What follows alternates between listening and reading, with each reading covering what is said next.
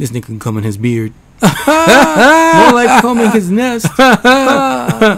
hey, you ready for the winter? Ah! Let me use your beard for a mop real quick.